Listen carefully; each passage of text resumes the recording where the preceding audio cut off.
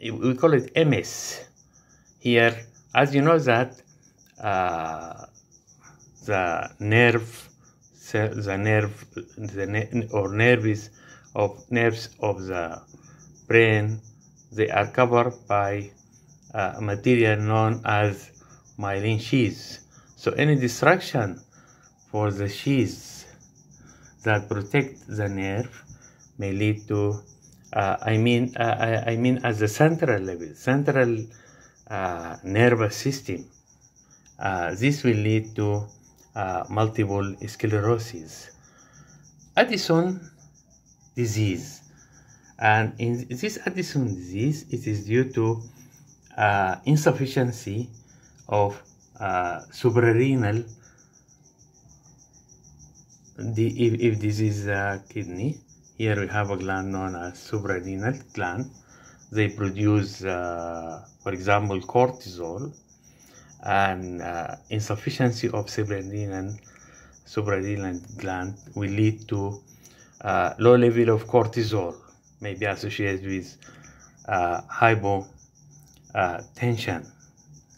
So, autoimmunity can affect any organ. For example, uvea, it will lead to uveitis. For example, as I mentioned before, the uh, myelin sheath within the central nervous system, and this will lead to multiple sclerosis, or myelin sheath that cover the peripheral nerves, and this will lead to Guillain-Barré syndrome. This is uh, Guillain-Barré syndrome. Or it may, uh, autoimmune disorders may affect the skin. As you know, the skin, uh, it has three layers, epidermis, dermis, and hypodermis. In epidermis, we find keratinocytes. So if someone these are uh, connected by uh, cement, the keratinocytes of the skin.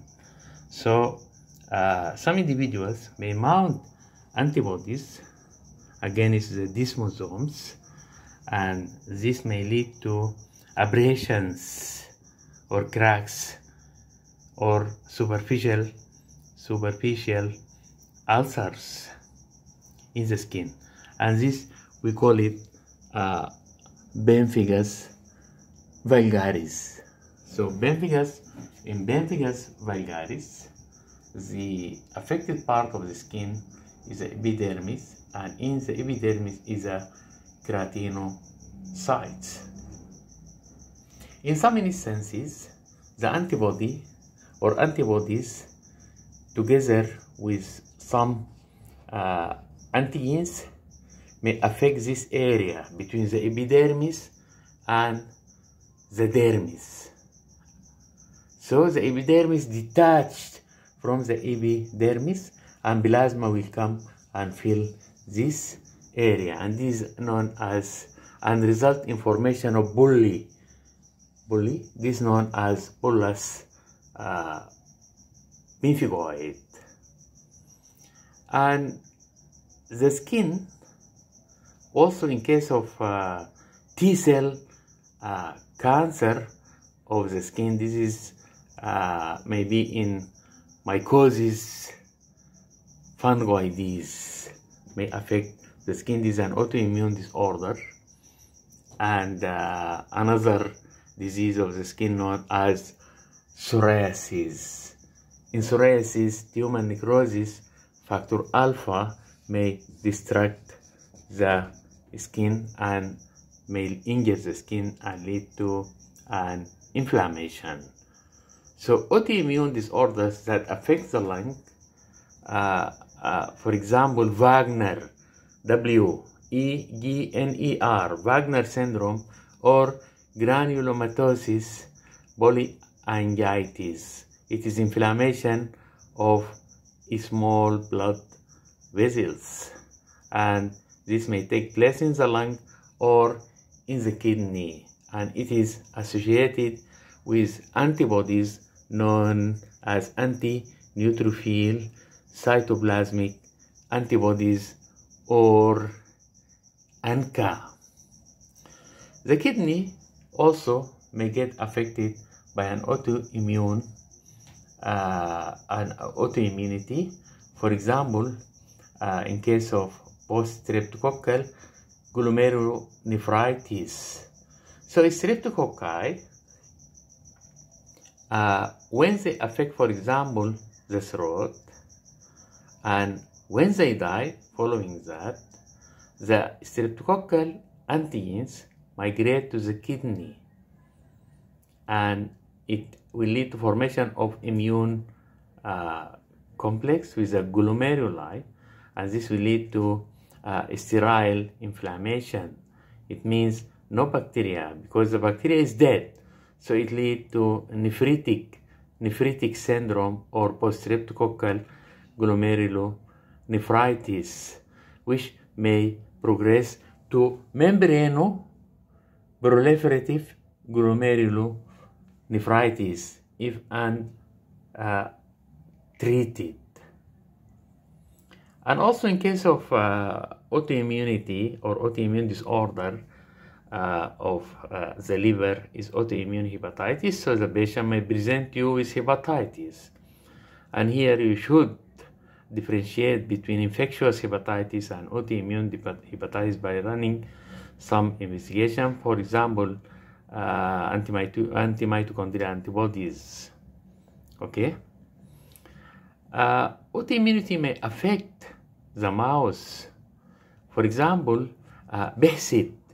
Behçet syndrome is an autoimmune disorder in which uh, the patient uh, is uh, suffering uh, from uh, genital tract ulcer, oral ulcer, and maybe diminution of vision.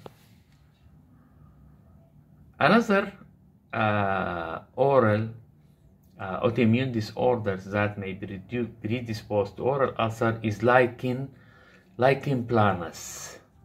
Lichen, lichen, uh, lichen planus, L-I-C-H-E-N,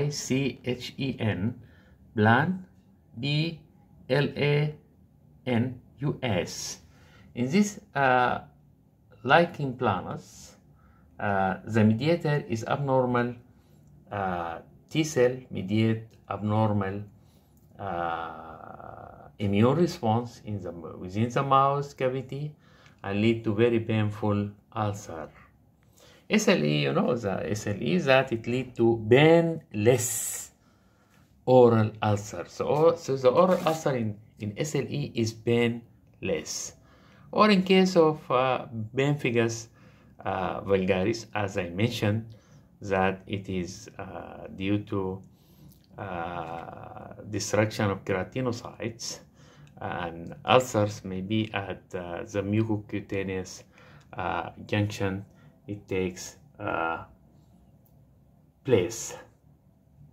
Also other autoimmune disorder known as Sjogren. Sjogren is G O with two dots G R E N. So we call this Sjogren syndrome. In Sjogren syndrome, there is dryness of mouth and dryness of the eye. So all these uh, autoimmune disorders may affect uh, these organs or it may affect uh, many uh, organs. Thank you very much, Professor Ahmed Bolad.